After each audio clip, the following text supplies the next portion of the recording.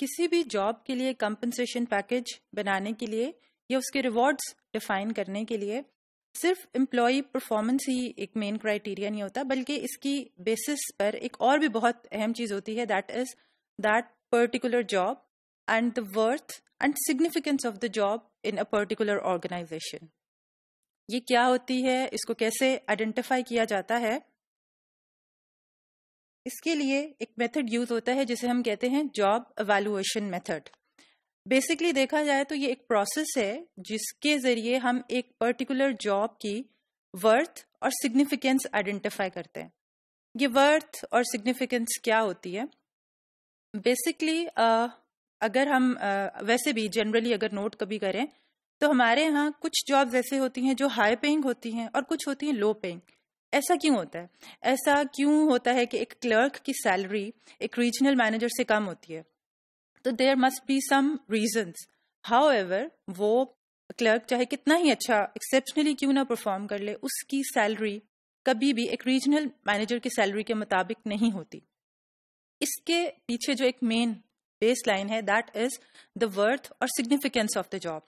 जो कि मैयर की जाती है हमारे जॉब अवेल्युएशन के प्रोसेस से। कुछ ऐसे फैक्टर्स होते हैं जो एक जॉब को दूसरी जॉब से डिफरेंट करते हैं। अब वो क्राइटेरिया हो सकता है the skills required in a particular job the set of knowledge the set of attitudes complexity of the job या अगर हम देखें तो वर्किंग कंडीशंस भी उसमें आ सकती हैं।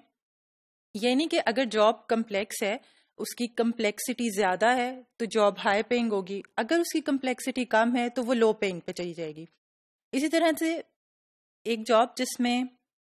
नंबर ऑफ़ स्किल्स या डिग्री ऑफ़ स्किल्स जो है वो ज़्यादा रिक्वायर्ड है तो वो हाई पेइंग की तरफ़ चली जाएगी। या नॉलेज का जो एक सेट है स्किल सेट या नॉलेज सेट या एटीट्यूड जो हम, जिसे हम के एस से कहते हैं, अगर वो किसी और जॉब को परफॉर्म करने के लिए ज़्यादा है तो वो हाई पेइंग है और किसी का कम है तो वो लो पेइंग है। और इसी तरह से एक क्राइटेरिया हो जाता है impact of the job for example हमारा जो सपोर्टिंग स्टाफ है सपोर्टिंग स्टाफ हम उसे कहते हैं जो डायरेक्टली तो इन्वॉल्व नहीं होता ऑर्गेनाइजेशनल गोल्स को अचीव करने में but basically they assist and facilitate the ones who are actually achieving the organisational goals हमारे सपोर्टिंग स्टाफ में आ जाते हैं, जैसे कि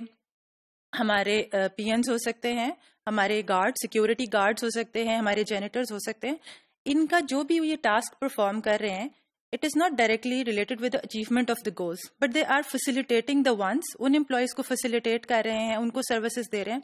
जो ऑर्गेनाइजेशनल गोल्स को अचीव कर रहे हैं। तो उनकी जो वर्थ um, या impact of the job on the organisational performance है वो बड़ा लो है। अगर कोई जेनेटर अच्छा परफॉर्म नहीं कर रहा तो इसका मतलब ये नहीं है कि ऑर्गेनाइजेशनल गोल या उसकी परफॉर्मेंस शेटर हो जाएगी। तो उनका impact of on the organisational goal कम है on in the organisational performance कम है जबकि अगर एक कोई रीजनल मैनेजर काम कर रहा है या इवन कोई वर्कर जो एक टेक्निकल स्किल प्रोवाइड कर रहा है उसका काम अगर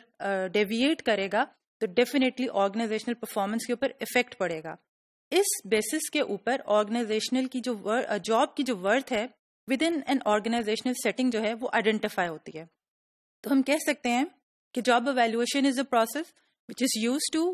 identify the significance and worth of the job based on some factors वो फैक्टर्स आपका के एस से सेट भी हो सकता है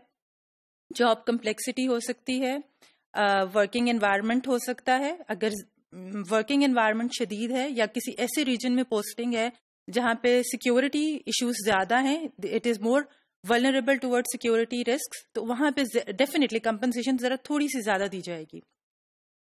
या फिर उसका impact on the organisational performance ये ऐसे क्राइटेरिया हैं जो एक ऑर्गेनाइजेशन में एक जॉब एक जॉब को दूसरी जॉब से डिफरेंट करते हैं, एक हायरार्की ऑफ़ जॉब डेवलप कर लेते हैं